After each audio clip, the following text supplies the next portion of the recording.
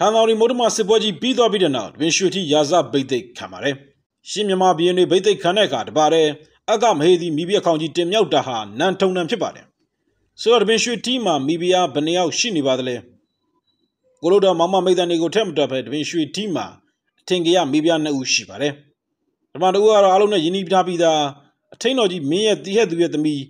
ဘရင်တော်ရဲ့ညမခင်ဖုံးဖြစ်ပြီးနောက်တူကတော့အထိန်တော်ကြီးသူတို့ဓမ္မရာဇာရဲ့သမီးခင်မြတ်ဖြစ်ပါတယ် ဒီနေရာမှာခင်ဖုံးနဲ့ခင်မြတ်ဘသူကပူလှတယ်လဲဆိုတာသိကျင်တဲ့အမျိုးတွေအတွက်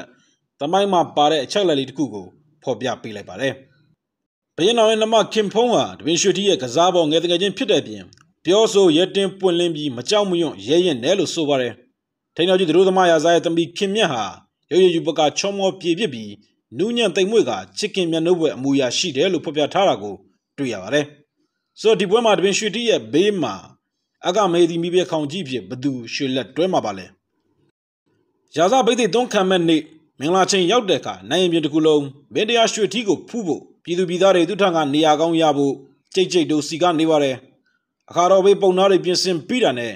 ဒကွင်းလုံးအကြတဲ့မကြောင်တိတ်ဆိတ်သွားပြီးဒဝင်းရွှေတီမူမတ်တင်နာပြည်တွေချမ်းရံကမင်္ဂလာနေရာကိုကြွချီလာပါတယ်ဒဝင်းရွှေတီရဲ့ဘယ်ညာနှစ်ဖက်လုံးမှာဘယ်မိဖုရားမှမပါပဲတူးတဲ့ကြွလာပါတယ် အကြောင်းကတော့ခုလိုတိုင်းပြည်စီရေးကိုအသားပေးနေချိန်မှာနိုင်နယ်မှာစိတ်ဝါမကွဲရအောင်ဆောင်ရွက်ခြင်းဖြစ်ပါတယ်စစ်မှုရေးရာမှာတပင်ရွှေထီးကဘရင်နောင်ကိုအသားပေးစီမံစေတယ်ဆိုပေမဲ့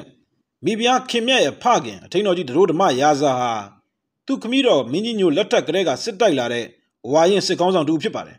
ရှီလာမဲ့စစ်ပွဲတွေမှာဘရင်နောင်ကတပင်ရွှေထီးရဲ့လက်ဆွဲတော်ဓာတ်ဖြစ်ပြီးအထိန်တော်ကြီးတွေကတော့ဘရင်ချက်ဝတ်တန်စာတွေဖြစ်ဆက်လက်တည်ရှိစေဖို့ရည်ရွယ်ပါတယ် ပိသိပွဲကြီးပြီးစီးပြီးတဲ့နောက်ဝင်ရွှေတိမူကြီးမတ်ရာတွေနဲ့စီဝေပြုလုပ်ပါတယ်။ဟန်သာရီပြန်သူရှင်ကရပ်ပြီးနဲ့စစ်ထုံးနေတဲ့ကာလမှာထားရှိခဲ့တဲ့အဋိဌာန်တိုင်းတကုံဆန်တော်ရှင်ကိုပြုပြမွမ်းမံဖို့မူမတ်တွေစုဝေးခြင်းဖြစ်ပါတယ်။ဝင်ရွှေတိတကုံဆန်တော်ရှင်ကိုပြုပြမွမ်းမံပြီးအလှပွဲကြီးပြုလုပ်မဲ့အကြောင်းကိုမူမတ်တွေဝမ်းသာအားရတခဲနဲ့ထောက်ခံကြပါတယ်။ဒီနေရာမှာထူးခြားချက်အနေနဲ့လောကုတ္တရာဆရာတော်တွေရဲ့မိန့်ကြားချက်ဟာတမိုင်းမှာအရေးပါလာပါတယ်။ဆရာတော်တွေရဲ့မိန့်ကြားချက်ကမင်းတရားရဲ့နာမည်မှာရွှေတိပါတဲ့ပြင် အခုဒဂုံဆန်တော်ရှင်ရဲ့ထီတော်တွေကဟောင်းတော့နေတဲ့အချိန်နဲ့ကိုက်တဲ့အတွက်ဒီအချိန်မှာသာရွှေထီကတ်လူမယ်ဆိုရင်မင်းတရားရွှေထီရဲ့ဖုံရှိန်အဝါရှေ့ကိုတိုးပြီးပွင့်လင်းလာလိမ့်မယ်လို့မိန့်ပါတယ်။ဘင်ရွှေထီဆရာတော်ရဲ့မိန့်ကြားချက်ကိုနှစ်သက်သဘောကျတဲ့အတွက်ဒဂုံဆန်တော်ရှင်မှာထီတင်ဖို့ပြင်ဆင်ပါတယ်။တမန်မှာတပင်ရွှေထီတင်ခဲ့တဲ့ထီတော်ဟာအတွင်းဘက်မှာကျင်းနဲ့ဖွဲ့စည်းထားပြီးအပြင်ကရွှေစင်ရွှေသားအတိနဲ့ပြုလုပ်ထားကနဝရကိုးပါးနဲ့စီချက်မွမ်းမံထားတယ်လို့ဖော်ပြထားတာတွေ့ရပါတယ်။ တက္ကရာ903ခုဝါဦးကာလမှာတပင်ရွှေတိကုန်းချောင်းရေချောင်းနဲ့တကုံဆန်တော်ရှင်ကိုထီးတင်ဖို့ထွက်တော်မူပါတယ်။ဘင်းတော်ကကုန်းချောင်းကစင်တက်မြင့်တော်တွေကိုဦးစီးချီတက်ပြီးတပင်ရွှေထီးကရေတက်နဲ့လိုက်ပါပါတယ်။ဘင်းရေတက်စုဖွဲ့ပုံကရှေ့ဆုံးကရွှေထီးတင်ထားတဲ့ထီးပြယုံဖောင်းတော်ကြီးနောက်ကရဟန်းတန်ဃာတွေပါဝင်တဲ့ဖောင်းတော်ကြီးပါဝင်ပြီးအနောက်မှာဟန်သာရီရေတက်အဲ့ဒီနောက်မှာမှတပင်ရွှေထီးရဲ့ဘင်းတက်တော်နဲ့စစ်လေတွေပါဝင်ပါတယ်။ထီးတင်ဘက်ကိုသွားတဲ့နေရာမှာရေလန်းချောင်းတစ်လျှောက် ဒုတိယအစုံတီးမှုတ်ပြီးမင်းခမ်းမင်းနာအပြည့်စုံနဲ့တည်ဆောင်လာခဲ့တယ်လို့ဆိုပါတယ်။တကုံဆန်တော်ရှင်ဖျားထီတင်ပွဲမှာအနေနဲ့ရက်ကရဟန်းပြည်သူတွေလာရောက်ကြတဲ့အတွက်အမတန်စီကားတယ်လို့အခုလိုဖော်ပြထားတာကိုတွေ့ရပါတယ်။ဆိုတော့ဒီနေရာမှာတပင်ရွှေတီတို့ကိုခဏထားပြီးပြေဘက်ကိုသွားရအောင်ဗျာ။ပြေပြင်းမင်းကောင်အနေနဲ့တပင်ရွှေတီရဲ့ဟန်သာရီတတ်မှတ်တွေကိုပြန်လွှတ်လိုက်ကြတဲ့ကသူဟာဒီကစားပွဲမှာအဓိကဇက်ကောင်အနေနဲ့ကစားရတော့မဲဆိုတာကောင်းကောင်းကြီးသဘောပေါက်ထားပါတယ်။အခုတော့ပြေပြင်းနနာပတိနေရဆန်ပြီးမှဘရင်ဖြစ်တယ်ဆိုပေမဲ့ သူဟာဒမင်ရွှေတီကိုတိုက်ဖို့ဘယင်မဖြစ်ခင်ကတည်းကချိုတင်ပြင်ဆင်မှုတွေလုပ်ထားပါတယ်။ဒမင်ရွှေတီတို့အရင်တစ်ခေါက်ပြေကိုလှုပ်ကြံတုံးကအတွေ့အကြုံရ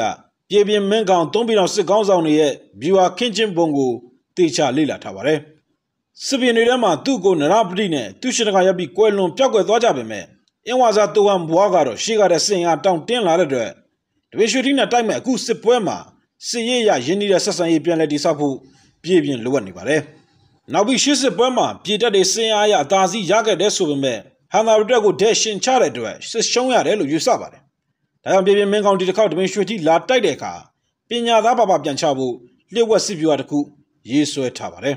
။တမင်ရွှေတိရဲ့ဟန်သာရတက်မှာစွမ်းရည်မြင့်ဆုံးတက်ဟာဘီနောင်ရဲ့ရှေ့ပြတပ်ဖွဲ့တွေဖြစ်ပြီးအများဆုံးသုံးလို့ရှိတဲ့စစ်ပြူဟာမြင့်တက်နဲ့တိုက်စစ်စဖွင့်တာဖြစ်ပါတယ်။ဒါပေမဲ့ပြည်ပြင်းဟန်သာရမြင့်တက်ကိုကူးဆိုင်မှာမဟုတ်သလိုဘီနောင်ကိုလည်းအလေးထားနေမှာမဟုတ်ပါဘူး အခုလိုလက်ခက်တီလီဖြစ်နေတဲ့အခင်းချင်းမှာတပင်ရွှေတီကိုရောဘင်းနောင်ကိုရောပြေမာထောင်ဖတ်နိုင်မယ်ဆိုရင်သူ့အနေနဲ့ဟန်သာရီပိုင်းနဲ့အောက်ပိုင်းနယ်မြေတွေကိုရရှိမှဖြစ်ပြီး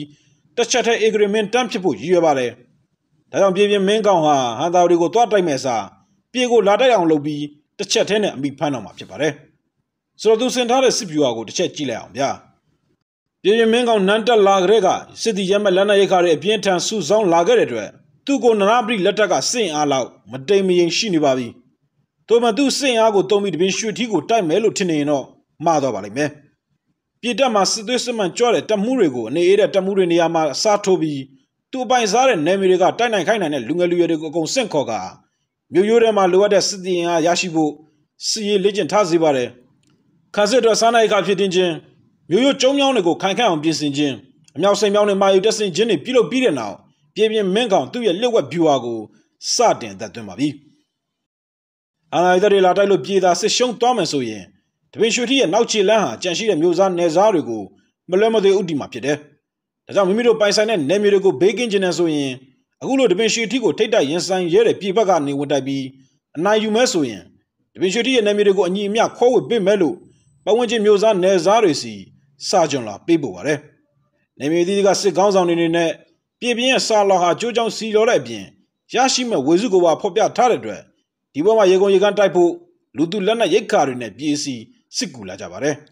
ဒီနေရာမှာထူးခြားချက်အနေနဲ့ပြည်ပြင်းပို့တဲ့စာလောမှာအကယ်လို့စစ်ကူလာမယ်ဆိုရင်အမြောက်စိန်မြောက်ဝေးပစ်လက်နက်ကြီးတွေတဲဆောင်လာဖို့တောင်းဆိုထားပါတယ်ဆိုတော့သုံးပြီးတော့စစ်ကောင်းဆောင်အင်းဝပြင်းတူအောင်ဘဘလို့တုံ့ပြန်မှာပါလဲသူ့အနေနဲ့ပြည်ပြင်းမင်းကောင်ကမနေ့တနေ့ကမှဘရင်ဖြစ်ပေမဲ့အကြံကတော့ကြီးပါကလားလို့တွေးက ပြုံးဆဆရှိပါတယ်ပြည်ပင်ရဲ့သူများလက်နက်မွေဖမ်းမဲ့အကြမ်းကိုသိပေမဲ့ဒီရေးမှာပြေကိုသာလွတ်ထားလိုက်မယ်ဆိုရင်တပင်ရွှေတီရဲ့နောက်ခြေလမ်းဟာသူ့စီတန်းတန်းကြီးလာမယ်ဆိုတာကောင်းကောင်းကြီးသဘောပေါက်ပါတယ်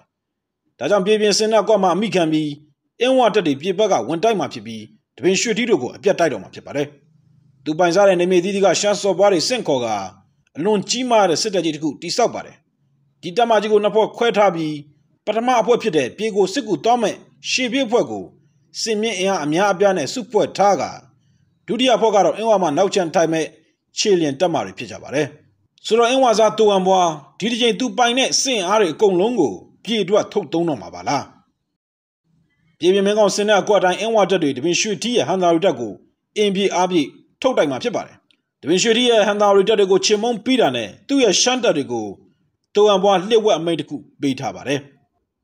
ပြည်မှာရှိတဲ့တပ်ဖွဲ့တွေဟန်သာရီနယ်မြေကိုသိမ်းဖို့စစ်ချီထွက်တာနဲ့ရှမ်းတပ်တွေပြည်ကိုတန်းသိမ်းမှာဖြစ်ပါတယ်။တူအံဘောက်တဲ့တပင်ရွှေထီကအဓိကရန်သူဖြစ်နေပေမဲ့သူပိုင်ဆိုင်ထားတဲ့နယ်မြေတွေနဲ့မဟာပြောင်မြောက်ဆက်ဆက်နေတဲ့ပြည်ကိုသိမ်းနိုင်မယ်ဆိုရင်သူ့ရဲ့ရှမ်းတပ်တွေလည်းတကူလင်းမြန်စွာစစ်ကစားနိုင်မှာဖြစ်တယ်လို့လိုအပ်တဲ့စားနပ်ရိတ်ကလက်နက်ခဲယမ်းတွေအလွယ်တကူရနိုင်မှာဖြစ်ပါတယ်။ဒါကြောင့်နောက်ချန်ချင်းလင်တပ်မတွေကိုဒီစစ်ပွဲကိုတန်းလိုက်မလာစေပဲပြည်မှာနန်းသိမ့်မဲ့ရှမ်းတပ်ကိုစစ်ကူပေးဖို့တက်မင်အင်းဝမှာတပ်တွေစုပွက်ထားတာဖြစ်ပါတယ်။ ပြည်မဘရင်မင်းကောင်နတ်တတာမကြသေးတဲ့အတွက်သူ့ရဲ့အာဏာလွှမ်းမိုးမှုဟာမခိုင်မာသေးသလိုရှမ်းတပ်တွေပြည်ကိုအကြိမ်ကြိမ်စစ်ချီလာဘူးတဲ့အတွက်နေမြေအခြေအနေစင့်အားစုဖွဲ့ပုံကိုရင်းနှီးထားပြီးသားဖြစ်ပါတယ်။နောက်ကလိုက်လာမယ့်အင်းဝချီလင်တက်မကြီးတွေနေနဲ့ဘာတားဆီးမှုမှရှိမှာမဟုတ်ပဲစစ်ကူလာတဲ့သဘောနဲ့အသာအရပြေခံတတ်တွေကိုသိမ့်ပိုက်နေမှာဖြစ်ပါတယ်။သူရန်သူဖြစ်တဲ့တပင်ရွှေတိရဲ့စင့်အားကိုဒီပွဲမှာဖျက်ဆီးပြမှာဖြစ်တဲ့အတွက်အင်းဝါစာတူအံဘွားပြေကိုသိမ့်မဲ့အကျင့်ဟာဂဲတလုံးတည်းနဲ့ငှက်နှကောင်ရမှာဖြစ်ပါတယ်။ အခုလိုရှမ်းတပ်တွေလှုပ်ရှားနေချိန်မှာအင်းဝနန်းတော်မှာမင်းကြီးရန်အောင်နဲ့ယုံကြည်စိတ်ချရတဲ့ရှမ်းအမတ်တွေနန်းဆောင်ကြံခဲ့မှာဖြစ်ပါတယ်။ပြည်ပြင်းမင်းကောင်တွေနဲ့ကပဝန်းကျင်နယ်ပယ်တွေကလူသူလက်နက်စုယုံထားရှိပြီးသားဖြစ်ပေမဲ့စီရင်မာမိတ်ဖြစ်တဲ့အင်းဝပြန်တူဟန်ဘွားပေါ်လုံစုံအားကိုအထာပြုတ်နေတဲ့အဖြစ်ကိုမလိုလားပါဘူး။အကြောင်းကတော့သူ့ကိုနရပရိလက်ထက်စစ်ပွဲတွေမှာတူဟန်ဘွားစင်ဟာအလုံးရင်သုံးရမယ့်ရေးကိစ္စတွေကိုရှောင်ပြီးအကဲဆက်တဲ့သဘောသာဟန်တာရီနဲ့ဝင်တိုက်ခဲ့ပါတယ်။ သို့မှဒီတစ်ခေါက်မှာတော့ရှော့ရှူချက်ချင်းလက်ခံတဲ့အပြင်အင်ဝါမှာစုပွက်ထားတဲ့တိုင်အားဟာအစမတည်းများပြတဲ့အတွက်ပြည်ပြင်းမင်းကောင်ကယ်ရွေးဆိုတဲ့ချီနေအတွက်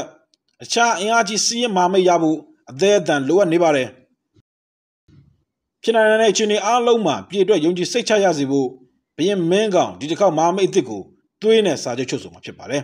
။ PSC ရဲ့မာမိတ်ဖြစ်ရွေးချယ်လိုက်တဲ့သူကတော့အခုလိုတိုင်းတိုင်းပြည်ပြည်စစ်ခင်းနေချိန်မှာဝင်မပါပဲအသင့်အနေထားနဲ့စင်အားစုစည်းထားတဲ့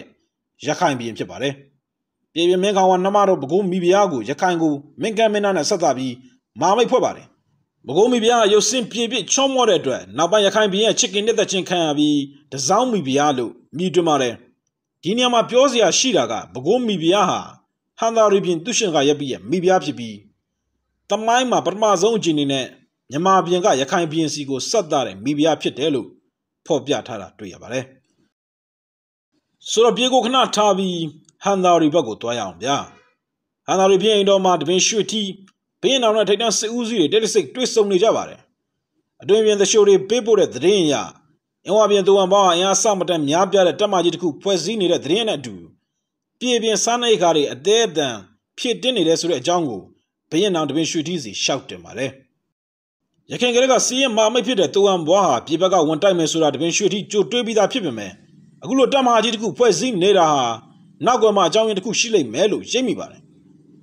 အကယ်လို့ခုချိန်မှာသာဟန်သာရီနေနဲ့ထိုးစစ်ဖြစ်ဥအောင်စမတိုက်ဘူးဆိုရင်တေချာပေါက်တပင်ရွှေထီးရန်သူလာတိုက်တာခံရတော့မှာဖြစ်ပါတယ်နောက်ပြီးပြေကမိဖုရားတူရခိုင်ကိုသွားတယ်ဆိုတဲ့သတင်းရတဲ့အတွက်ပြည်နဲ့ရခိုင်ဟာစီးရဲမာမိတ်တွေဖြစ်လာတော့မယ့်အခြေအနေရှိနေပါတယ်တခြားဘက်ကတွေးမှဆိုရင်တပင်ရွှေတိနဲ့ရခိုင်ပြည်ကြားမှာဘာရန်ရွေးစားမှမရှိတဲ့အတွက်လက်တိုက်စရာမရှိဘူးလို့တွေးစရာရှိပေမဲ့ ရှေ့စစ်ပွဲတွေမှာအင်းဝပြည်တူဟန်ဘွားကလည်းထုံနီတိုင်းပြည်ဘက်ကဝန်တိုက်တဲ့သဘောရှိတဲ့အတွက်ဒီကြီးဟာမပေါ်ဆသင့်တဲ့အကြောင်းတပင်ရွှေတိစီရှောက်တင်ကြပါတယ်တပင်ရွှေတိရဲ့သဘောကတော့ဒီစစ်ပွဲကမလွတ်မပြေတိုက်မှာဖြစ်တဲ့အတွက်ကိုယ့်ဘက်ကစတိုက်ပြီးရန်သူကိုစစ်ဦးမှာအသာစီးရယူဖို့ရည်ရွယ်ပါတယ်ဟန်သာရီမိုဒမစစ်ပွဲရဲ့အတွေ့အကြုံရရန်သူဟာဟန်သာရီမြင့်တက်ကိုအဓိကထားဖျက်ဆီးဖို့ကြံစီတာကိုသင်ခန်းစာယူပြီးဒီတစ်ခေါက်ဟန်သာရီရှေ့ပစ်တဲ့ရဲ့စစ်ဗျူဟာကိုပြင်ဆင်ဖို့တပင်ရွှေတိဘင်းနောင်နဲ့လက်ဝက်ဆွေးနွေးကြပါတယ် တပင်ရွှေတိရဲ့ဘင်းအိမ်တော်မှာစစ်ဦးစီးတွေစုဝေးကြပြီးဟန်သာရီတပ်ဖွဲ့တွေပြည်ကိုတိုက်ဖို့ပြင်ဆင်ကြပါပြီလိုအပ်တဲ့စားနပ်ရိက္ခလူသူလက်နက်အင်အားအသင့်ဖြစ်တာနဲ့ဟန်သာရီဘင်းတက်တော်ကြီးတိုက်ပွဲဝင်ဖို့အသင့်နေထားရောက်ရှိပါပြီဖြစ်ပေါ်လာတဲ့အခြေအနေတွေရတွတ်ဆထားတဲ့အချိန်တက်စောပြီးတက်ကရစ်903ခုတစောင်းမုံလာဇမ်းမှာဟန်သာရက်တွေကုန်းချောင်းရေချောင်းနဲ့ပြေကိုစစ်ကြည့်ပါတယ်။တန်ရာစူပါဘုံကိုကြည့်မယ်ဆိုရင်ကုန်းတမခြေလင်တက်မကြီး9ခုမြင်းတက်မကြီး9ခုပြင်းတော်ဦးစီးတဲ့ပြင်းမတက်မကြီးတစ်ခု အားလုံးပေါင်း17ခုပါဝင်ပါတယ်။ဒီတက်မကြီး17ခုမှာတိုက်စင်300စစ်မြင်း2500စစ်သေးရဲ့8000ပါဝင်ပါတယ်။ပြေကိုတိုက်မဲ့ခုစစ်ပွဲမှာတပင်ရွှေတိကဘုံ17စင်ရှိတဲ့ရွှေဖောင်ကိုအသုံးပြုခဲ့တယ်လို့သမိုင်းမှာဖော်ပြထားပါတယ်။ရှေးပတက်မကြီး6ခုနောက်ချန်တက်မကြီး6ခုအလဲကတပင်ရွှေတိရဲ့ပြမစစ်လေအုပ်စုကိုအကောက်အကွယ်ပြုပြီးပြေကိုစစ်ချီပါတယ်။စင်အားကိုကြည့်မယ်ဆိုရင်ဟန်သာရီတော်ဝင်ရတက်ဟာစစ်လေအစင်းပေါင်း1380 ရေတသားပေါင်း9000ပေါင်ပါတယ်။အခုလိုဟန်သာရီတပ်ဖွဲ့တွေပြေကိုထိုးစစ်ဆင်နေချိန်မှာထိန်းတော်ကြီးသတို့ဓမ္မရာဇာနဲ့ထိန်းတော်ကြီးသက်ရှိကျော်ထင်တို့ကဟန်သာရီနန်းတော်ကိုကာကွယ်ဖို့မျိုးဆောင်ကြံခဲ့မှာဖြစ်ပါတယ်။ခြားတစ်မှာပြေပြင်းမင်းကောင်ဟန်သာရီတက်တွေချစ်တက်လာပြီးဆိုတဲ့သတင်းအရမျိုးရိုးကိုခန်းစစ်အပြည့်နဲ့အသင့်နေရာယူထားပြီးသူ့ရဲ့အင်အားကြီးမဟာမိတ်တွေဖြစ်တဲ့အင်းဝနဲ့ရခိုင်ပြည်တို့စီစစ်ကူတောင်းဖို့မျက်စိဆက်သားတွေစေလွှတ်လိုက်ပါတယ်။အင်းဝပြည်သူံဘွား ဒီပွဲဟာသူတောင်းတောင်းတတလိုချင်နေတဲ့ပွဲဖြစ်တဲ့အတွက်ဝန်သားရအလျင်မြန်တက်တွေစုဖွဲ့ပြီးပြေကိုစစ်ကူပေးဖို့ပြင်ဆင်ပါတယ်။လောက်ကနေမျိုးတွေကိုတက်လန့်ပြီးတဲ့နောက်သူံဘွားသူ့ရဲ့အင်းဝတက်တွေနဲ့တူအုံမောင်စော်ဘွားနောင်မွန်စော်ဘွားရက်ဆောက်စော်ဘွား30စော်ဘွားတို့ကိုဦးစီးပြီးပြေကိုအတင်းစစ်ချီလာခဲ့ပါတယ်။သူအဘောနဲ့သူ့အကြံစီအကောင့်ထဲပို့ဖို့အတွက်အရေးကြီးဆုံးချက်ဟာတပင်ရွှေထီကိုအမိရရှင်းရမှာဖြစ်ပါတယ်တပင်ရွှေထီအန်သာရီမြင့်တက်ကိုဖြစ်ပြဖို့ ပြေချောင်းတိုက်ပွဲကပြန်လာကြတဲ့ကအင်းဝါမှာရှက်တဲ့တွေကိုပြန်လဲစုစည်းပြီးမြင့်တက်ကိုအသားပိတ်တိဆောက်ထားပါတယ်စင်အားကိုကြည့်မယ်ဆိုရင်သူအမွားပြေကိုစစ်ကူလာတဲ့ရှေပြစ်တက်မှာတိုက်စင်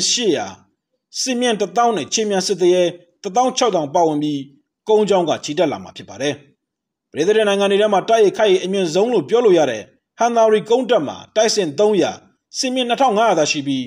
ရှမ်းတက်တွေမှာတိုက်စင်800စင်မြင့်1000ဆိုတော့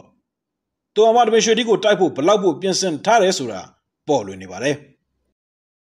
ပြည်မှာတက်ဆောင်နေတဲ့ဘရင်မင်းကောင်ရဲ့တပ်မကြီးတွေပြင်အင်းဝါကရှမ်းတက်တွေရဲ့မဟာဗျာမြောက်စင်တက်မြင့်တပ်မကြီးတွေပူပေါင်းအဖြစ်မှဖြစ်မဲ့ဒီစစ်ပွဲဟာတပင်ရွှေတီတဲ့အားတူတဲ့ပြိုင်ဘက်ရောဖြစ်ပါရဲ့လားခုလိုဓမ္မကြီးတွေအသီးသီးပြေကိုဥတီပြီးချီတက်နေချိန်ရခိုင်ရုံးမဘက်မှာလည်းကြီးမားတဲ့စီးရေးလှုပ်ရှားမှုကြီးတွေရှိနေပါတယ်ဆိုတော့နောက်ပိုင်းမှာပြန်တွေ့ကြပါခင်ဗျာ ကြည့်ရှုပေးတဲ့အတွက်အားလုံးကိုကျေးဇူးများတင်ပါတယ်